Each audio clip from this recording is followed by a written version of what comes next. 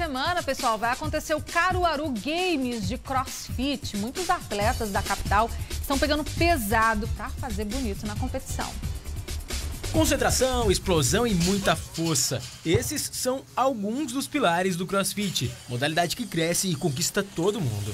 E com essa galera aí não é diferente. Agora eles se preparam para disputar o Caruaru Games, um dos maiores eventos de CrossFit do Nordeste, que acontece neste fim de semana em Pernambuco. A competição ele é um, um, um app para quem faz o treinamento do CrossFit, entendeu? É muito interessante porque você consegue unir é, aquela experiência de você ser atleta, junto com a socialização que você vai ter com os demais atletas, a união que você forma em relação à sua equipe. Então isso é muito interessante.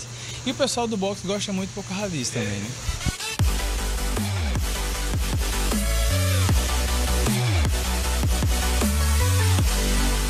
Daniel é um dos mais experientes no assunto. Com vários campeonatos no currículo, ele, além de competir, também ensina a galera que está começando e que já se apaixonou pelo esporte. A dica é você não pular os processos de evolução.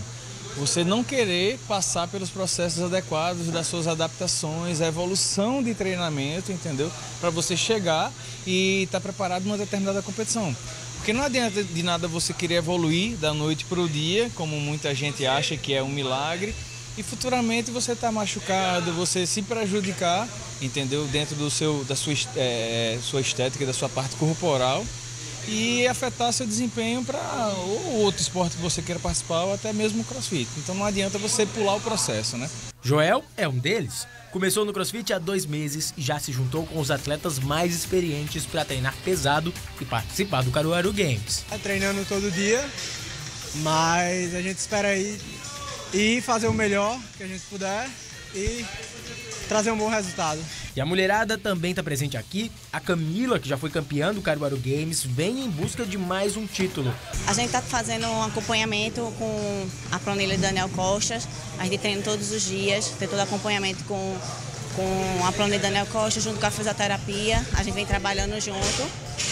E dedicação e treino mesmo, diário. A gente vem se superando. É, e isso que vai que a gente vai criando gosto, vai querendo se superar.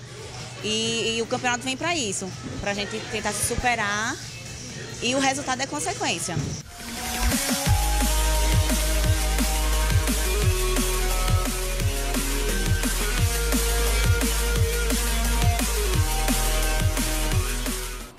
Deixar um abraço aqui para Camila, já treinei com ela, profissional excelente, desejo sorte a todos os atletas que vão participar dessa competição.